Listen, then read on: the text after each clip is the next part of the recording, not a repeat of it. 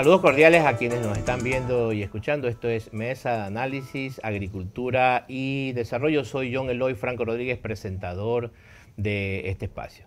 Es muy importante que la academia apoye decididamente a las cadenas agroindustriales, los sistemas de cadenas agroindustriales, pero también es importante que las agroindustrias artesanales tengan su espacio relacionado a la agricultura familiar y campesina.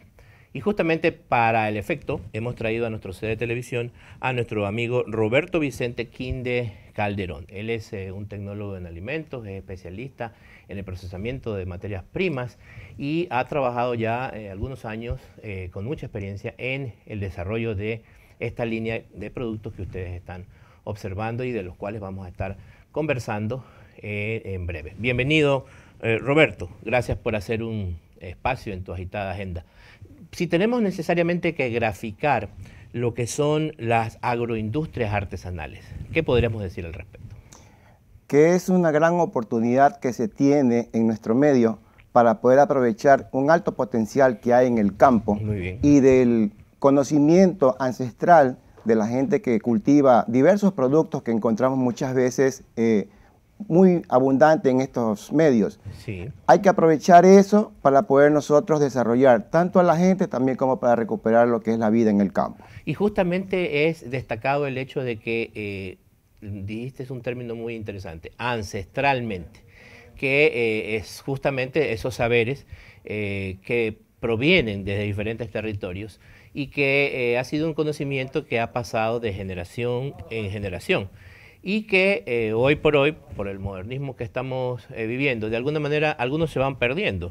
Y qué importante que haya personas como en tu caso, eh, que se encuentran promoviendo este, esta agroindustria artesanal que, que le puede prever, no es que le puede, de hecho le provee una importante fuente de ingresos a los agricultores eh, familiares campesinos. Y en ese sentido, eh, ¿cómo ha estado la respuesta en los diferentes territorios en los cuales has estado eh, visitando? Es bastante motivador encontrar personas que se encuentran allí viviendo durante mucho tiempo, que cuando nosotros llegamos y hablamos de estas ideas muchas veces solamente con palabras, pero luego cuando comenzamos a desarrollar cada uno de los procesos y técnicas que nosotros conocemos, ellos enseguida se enganchan con eso y logran ellos al mismo tiempo sentir ese, esa identidad con lo que tienen allí al lado en su tierra. Y poder ellos desarrollar así nuevamente productos que ellos muchas veces compran en los almacenes o en las tiendas. Y ellos pueden darse cuenta enseguida de que lo pueden hacer también en su propio hogar. Eh, salsas, eh, conservas, mermeladas, aderezos que se pueden hacer muy fácilmente utilizando precisamente lo que ellos muchas veces siembran y que buscan es nada más comercializarlo como una materia prima común y silvestre como se la conoce. Claro. Quiere decir que la, eh, respuesta del agricultor familiar campesino ante el acompañamiento por este tipo de eh, conocimiento, por este tipo de eh, emprendimiento, ¿por qué no decirlo también? Para ellos concita el interés, eh, se sienten muy animosos de poder eh, trabajar, de poder articularse, armonizarse de tal forma en esta cadena que inicia, eh, si bien es cierto, como una agroindustria artesanal, pero que luego, a medida que va desarrollándose, da la pauta para que pueda seguir creciendo, pueda pasarse pues de solamente emprendedor pues a empresario.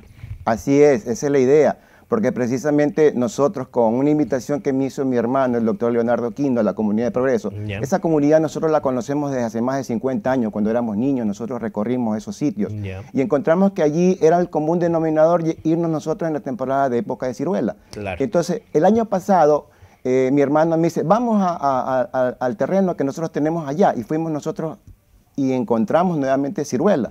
Pero ahí encontramos el tema de que hay la ciruela que normalmente se la consume, que es verde con sal y de ahí no pasamos. Claro. Pero en cambio, cuando nosotros comenzó a pasar la temporada, en la temporada muy alta, en donde hay mucha abundancia de ciruela, esa ciruela se madura en la planta y esa ciruela casi no es muy comercial porque es muy difícil manejarla. Entonces mi hermano me dice, ¿qué podemos hacer? Le digo, si tiene mucho azúcar, es bien dulce, podemos hacer muchos productos. Empezamos haciendo mermeladas, jugos, ah, eh, y terminamos haciendo el vino, porque teníamos tanta cantidad de fruta que tuvimos que procesar bastante jugo, hicimos vinos de, ciruela. Claro, y justamente estás mencionando un producto que en este caso es estacionario. Sí. Es un, aparece eh, en septiembre hasta más o menos noviembre, por ahí así, los últimos días.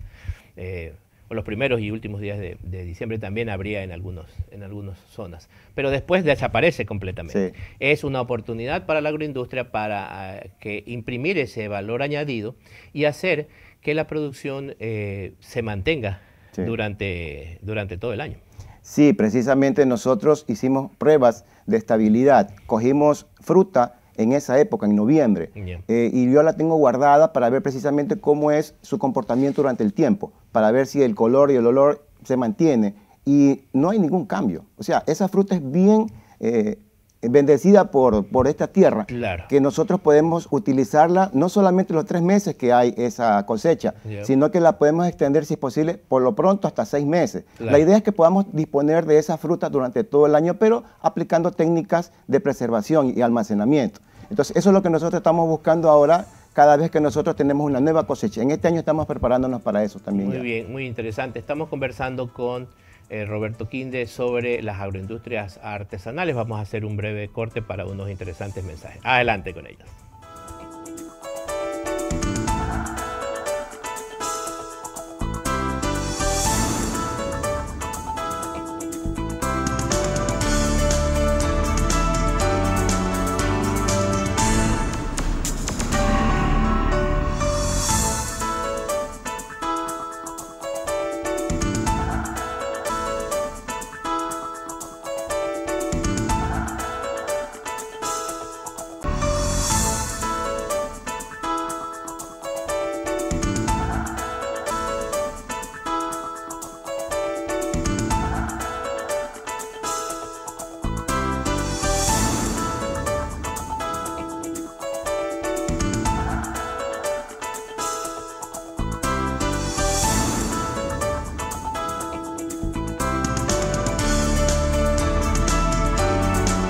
Gracias por seguir en nuestra sintonía. Seguimos con más de Mesa de Análisis, Agricultura y Desarrollo. Hoy conversando sobre las agroindustrias artesanales con el tecnólogo Roberto Quinde. Él es eh, un agroemprendedor, él es eh, un emprendedor visionario y además gerente de la marca La Estación. ¿Podrías comentarnos un poco al respecto de cómo nació esta idea, este ahora negocio, esta empresa ya eh, entiendo que ya es formal, eh, para que nuestros amigos y amigas que también están con esa expectativa de también querer ser agroemprendedores, eh, muy visionarios y demás, pudieran también incursionar. Adelante, Roberto. Sí, bueno, el nombre de la estación nace y tiene un doble sentido. Precisamente nosotros aprovechando esas frutas estacionarias, nosotros vimos de que podíamos nosotros tener como un link, un eh, anexo entre lo que es el nombre y el sentido de la fruta que es estacionaria. Dijimos la estación. Adicional a eso, mi hermano tiene un terreno, una propiedad en la cual cuando él me dijo la, la propiedad tiene un límite que se conoce como la línea férrea. Ah, Entonces yo me imaginé una línea férrea y que pasaban los ferrocarriles por allí. En su tiempo pasaron por ahí. Hace 100 años. Entonces yo dije, vamos a conocer y quiero ver la línea férrea. Entonces cuando llegamos a la propiedad encontramos de que solamente había un montículo y el camino por donde supuestamente iba la línea férrea, creo que por ahí pasaba. Entonces yo me imaginé ver una línea férrea. Pero entonces cuando yo ya dije, bueno, no hay, un nombre, vamos, vamos a poner una estación aquí en Progreso, y algún día va a pasar una línea férrea por aquí de nuevo. Entonces nació el concepto de tener ese doble sentido, de, trabajar con la fruta estacionaria de estación y de tener una estación en Progreso. De hecho, seguramente en muchas partes del territorio todavía estarán enterrados ahí los durmientes que alguna vez el presidente Alfaro promovió como una, un medio de comunicación que luego, pues, pues, bueno, por efectos del modernismo fue, fue reemplazado. Pero también es cierto que la estación tiene muchos eh, aspectos eh, relevantes, porque también en progreso, antiguamente, y bueno, ahora también se hace, es un punto de en el cual se detienen los vehículos, abastecerse de combustible, las personas se bajan un momento a estirar las piernas, a comer algo. Entonces, eh, hacen una, una estación. Y qué interesante eh, la relación con, el nombre. Y también la estación, porque inicialmente decías la fruta de estación, pero vemos que en la gama que nos ofrece la marca, no solamente hay productos de estación. Ahora hay derivados de esos productos y de otros productos más que eh, vemos aquí que se, en los cuales se ha emprendido. Sí, por ejemplo, cuando comencé a conversar con las personas de allá de la zona y las personas que tienen muchos más años que nosotros, 60, 70 años, ellos me comentaban que precisamente ese sector de progreso habían haciendas ganaderas, ah. había leche y, derivados que se podían producir allí. Así es. Se sembraba maní también. Entonces yo le dije, de verdad, porque yo quiero sembrar maní, porque quiero sacar un producto eh, en el cual nosotros podamos aprovechar las materias primas que vamos a tener allí. Entonces, he hecho un producto que es una mantequilla de prieta que se utiliza maíz y maní, que básicamente sí se puede sembrar en esa zona. Son productos de la zona sí, y que de alguna manera hay ahí eh, soberanía alimentaria y obviamente seguridad para, alimentaria para el resto de la, de la comunidad. Y son productos que eh, eh, de, mucho consumo, porque habitualmente pues el maní es parte de nuestra dieta. dieta alimentaria, sí y de nuestras eh, preparaciones, eh, muy habitual. Y la sal prieta pues también es parte pues, de nuestra cultura culinaria eh, y es muy, muy, muy demandada. ¿no? Si bien es cierto, está posicionado su origen pues desde las zonas de, secas de, de, Manabí, pero irradia hacia, hacia Guayas y, Santa Elena también. ¿Y qué otros productos tiene la marca La Estación? Bueno, hemos hecho jugos, hemos hecho también mermeladas, conservas. Estamos trabajando también en desarrollar lo que es el ají jalapeño. A mí me sorprende mucho que en México, por ejemplo, hay mucho desarrollo y hay muchas variedades de ají, que, aquí también se los puede hacer. Lo que sucede es que únicamente nosotros cogemos el ají como un alimento de consumo directo. Hay variaciones que se pueden hacer y estamos ah, trabajando en eso. Cuando yo le dije a mi familia, le dije, voy a hacer una mermelada de ají. Entonces me dice, pero eso es ser picante. No, pero es una, algo que le va a llamar enseguida la atención. Quiero probarlo, le van a decir. Sería una importante gira algún rato eh, suya y de sus eh, colaboradores por, por México, por ejemplo, que es un país que tiene eh, un consumo per cápita de, ají muy, muy alto, ¿no? y pues lo utilizan hasta en los, en los caramelos. Es importante que esa, esos eh, atributos comparativos y competitivos que tienen muchos de los productos sean identificados por nosotros y potenciados y capitalizados por la agroindustria. Y en este caso, pues eh, vemos un ejemplo muy claro en los productos de la estación, eh, que pueden ser llevados hacia los territorios y beneficiados los agricultores de, familiares campesinos. Sí, eso es lo que buscamos nosotros. En principio, que el agricultor sea beneficiado con que pueda tener alternativas de utilizar su cosecha y no se pierda precisamente esa oportunidad que tienen de poder generar un mejor ingreso. Porque no es lo mismo que usted venda una fruta de estación a que venda un producto elaborado con un valor agregado. Claro. Entonces el beneficio que nosotros buscamos es que la gente aprenda de esto, nosotros darle el conocimiento, darle el know-how para que ellos puedan tener esa eh, inquietud de ir desarrollando más cosas y poder ellos poder progresar en su economía familiar también. Justamente en eso, en ese know-how, ese cómo se hace, como le llaman los, gringos, eh, en un momento determinado eh, es parte de los conocimientos y los contenidos que, por ejemplo, la carrera de agroindustria de la Universidad Católica de Santiago de Guayaquil imparte a través de sus eh, programas y proyectos de vinculación y, en sus acciones como tal. Justamente estamos ahora participando junto al Ministerio de Agricultura en una feria que se llama eh, Saberes eh, y Sabores, Sabores y Saberes, así es, Sabores y Saberes de la Agricultura Familiar Campesina.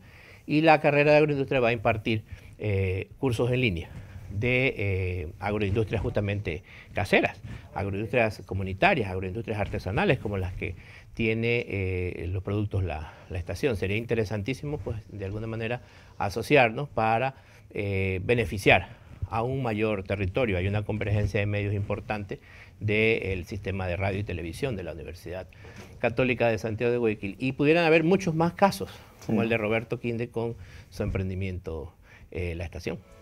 Sí, precisamente eso hemos encontrado nosotros, que nos falta conectar o integrar, digamos, la parte eh, educativa con la parte social. Justamente es la temática del siguiente bloque cuando hablaremos de las acciones futuras que eh, Productos La Estación tiene previsto. Vamos a, unos interesantes eh, consejos. Sigan en nuestra sintonía.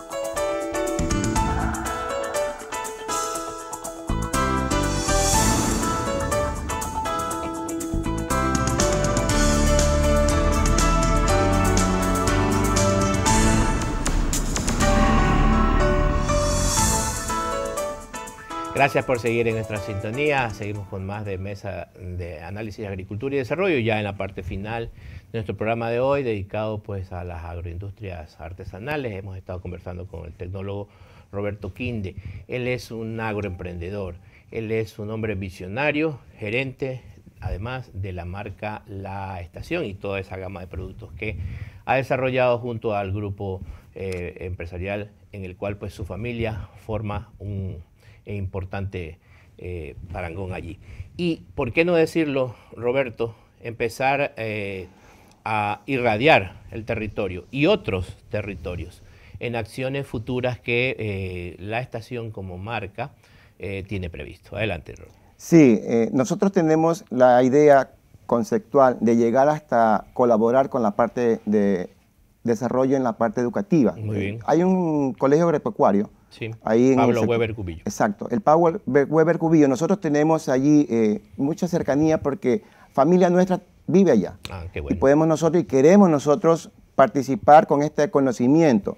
Lo que sucede es que es diferente que nosotros vayamos solamente a hablar, pero ahorita yo ya les puedo mostrar lo que podemos hacer. Y va acompañado de la academia, que de alguna manera pues sigue de encadenamiento lógico a los bachilleres agropecuarios que están en la plaza. De paso, pues ese Juan Gómez Rendón es territorio del Cantón Guayaquil. Sí.